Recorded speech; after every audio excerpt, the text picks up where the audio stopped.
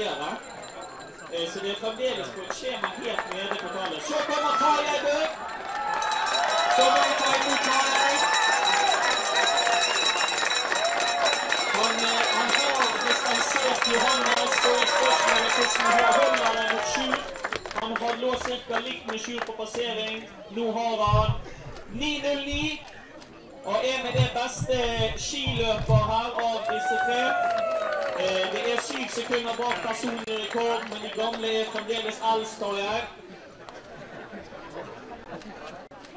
Så må vi si Joel Dyrhovden har passert i bunnen av trappen. 7.39. Eh, Ligger med det annet enn en tid